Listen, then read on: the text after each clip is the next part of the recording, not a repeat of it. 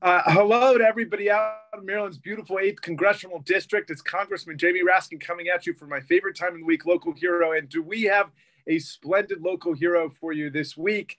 None other than the great Connie Morella, uh, who is my uh, pre predecessor in office, who served as the representative from Maryland's 8th District from 1987 to, I believe it was 2003. And Connie uh, also, then became uh, ambassador to the OECD at Montgomery College. She's been a professor, and she's just been an absolute force of nature in our community for several several decades. Um, she's a great mom, a great aunt, a great grandmother, um, and uh, Connie um, has agreed to join as our local hero because this is Women's History Month, and it's hard to think of anybody uh, who has figured more importantly in the women's history of Maryland's 8th Congressional District than Connie Morella. So, Connie, thank you and congratulations for being our local hero this week.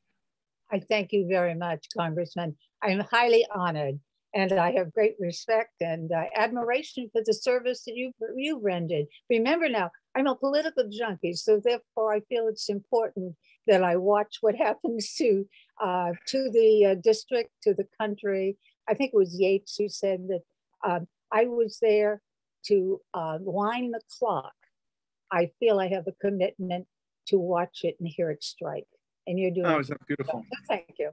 Isn't that beautiful? Well, um, you, you know, you, you've had such a dazzling career in public life. I know when you first entered Congress, you went in with some extraordinary people, including the now Speaker uh, Nancy Pelosi. You were classmates, John Lewis, right? Amo Houghton, Fred Upton.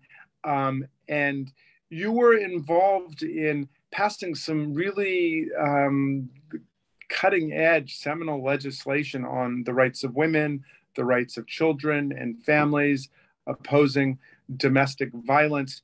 Talk, if you would, for a moment about some of the things you're proudest of that you participated in accomplishing when you were in Congress. Well, you know, as you know, Jamie, I started off uh, teaching at Montgomery College, and I became a member of the first Commission for Women, and that was back in the 70s. And um, uh, that's when I recognized the inequities that, that women faced. In fact, it was Lindy Boggs, um, for whom we named our Congresswoman's Room, and we just recently celebrated the anniversary of it, who introduced the Equal Credit Act. And um, which gave women opportunities. But that's when I got involved on the first commission for women in Montgomery County and began to realize something needs to be done. So, uh, as I would say to people, if you think it needs to be done, try to help do it. And so that's when I decided to run, ran for the state legislature and then ran for the federal Congress and was elected. And of course, it was the women's movement that put the movement into me, and I felt we needed to move these things ahead like you, I was fortunate enough to represent a district where the people are very intelligent, very engaged, very involved. And so I had the National Institutes of Health uh, as my constituency, the National Institute of Standards and Technology, and the various very, you know, federal agencies that are critical, as well as the whole high-tech community. Um, and um, so I began to realize what I could do to also bring equity for women and I think one of the first pieces of legislation, it wasn't one of my first, but one that I think I would like to point out, indicated something I believe in, Jamie, and that is bipartisanship. To get something accomplished, you've got to have both sides working together. And that was the Office of Research on Women's Health at the National Institutes of Health. And who helped do it?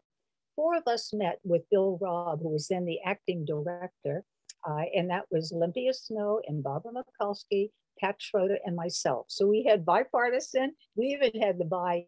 Uh, uh.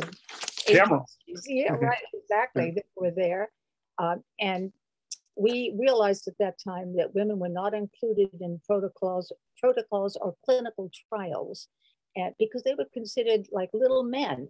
But we know the anatomy of women is quite different, and um, so we um, we engaged with Bill Raub and others, and we we succeeded in getting the Women Office of Research on Women's Health included in the revitalization of the NIH bill.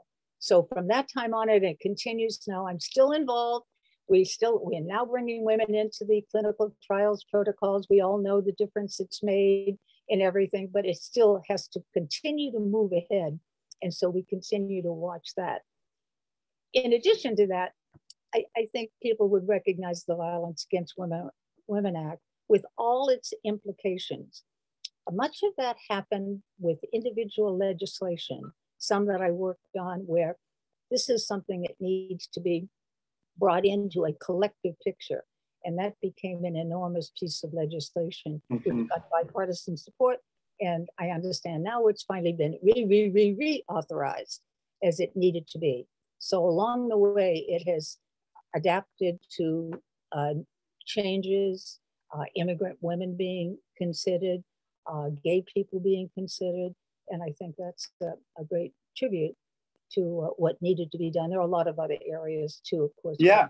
About, uh, well, but, but, what a remarkable thing to be part of that very first wave of changes, um, opening up the law in this direction. And uh, it makes me very proud to be able to uh, sit in this lineage of people who've represented uh, the extraordinary eighth district. It is the most educationally accomplished district in the country. We've got the highest levels of PhDs and doctorates and advanced training and so on. And um, it's a district, as you well know, that is deeply engaged with public policy, with government, and with ideas and uh, learning. This is one reason we were so thrilled that we got to uh, name a public library after you. And everybody loves to go to the Connie Morella Library in Bethesda. But what's it like to drive by the, the Connie Morella Library when you're going out to eat or something? What's that like? Well, it, it isn't that I drive by the library, but I go to the library and I have had some meetings there. And I'll just tell you something funny, Jamie. Um, this isn't typical library, but they do all kinds of things there. They have the side rooms. I went to one not too long ago called Read to a Dog.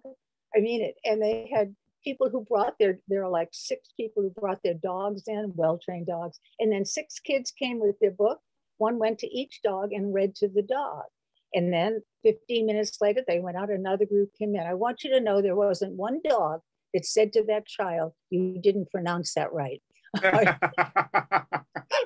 That's awesome a, a library. Well, you know, actually, quite seriously, I am. I can't tell you how honored I am by that, because the library is community. The library is nonpartisan. The library reaches out to people of different economic status, ethnic backgrounds. It brings people together. And so, it's also a, a place of romance, isn't it? Oh, somebody told you. Yes, my husband Tony uh, uh, we went to Boston University where we met, and the Boston Public Library wasn't very far. And after our first date, um, we met at the library. I remember it was a Saturday, and he proposed to me. And so I, I must say, and it lasted. So uh, there's just something about the staying power of libraries. And it's, also, a, it's a beautiful story it was also free, so he didn't have to spend any money. no, it's a it's a beautiful story, um, and of course, um, you and Tony uh, had such a beautiful romance and marriage, and the family you've created is uh, astonishing, and um, it it has touched so many people. People in your family have touched so many people in so many different ways throughout Montgomery County, throughout our district.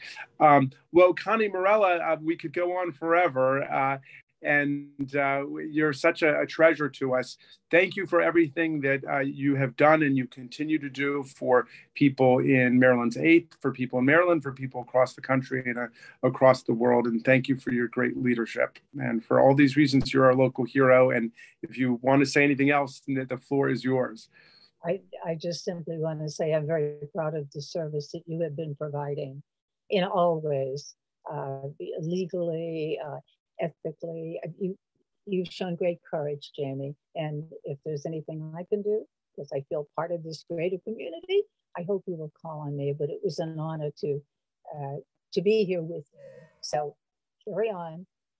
Thank you, our dear Connie Morella, our local hero for this week.